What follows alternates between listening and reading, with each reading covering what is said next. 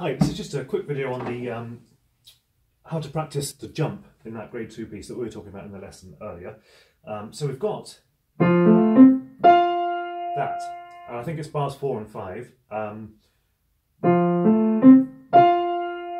so if you take all the notes you're playing in the lower position, which I think is F, A and C in the left hand, and an F in the right hand with your thumb, and play them at once.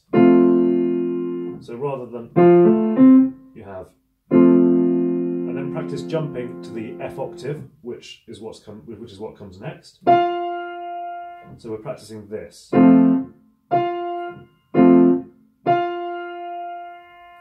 And the way to practice that is to practice the movement of the jump quickly, but then playing the note once you've checked it slowly. So we'll do a quick jump. We're going to check where our fingers are. If they're in the right place, then play it.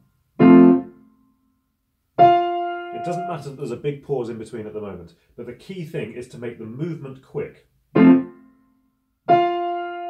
then play it once you've checked it. If you make the movement and your fingers are on the wrong notes, then don't play it.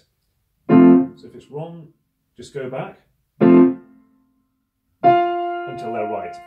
So you, you're, you're then practicing only playing it when it's right. And then gradually, after you know a few days of doing that, uh, just do it for you know um, two or three minutes each time you practice, um, and then gradually the, the pause while you check that you're on the right notes after the jump will get smaller.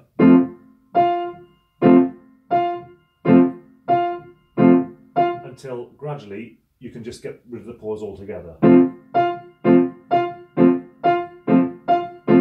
Really key thing is to make the movement quick, even when you're checking and playing the notes slowly right at the start. I hope that helps. Any questions? You can always let me know. All the very best. Bye bye.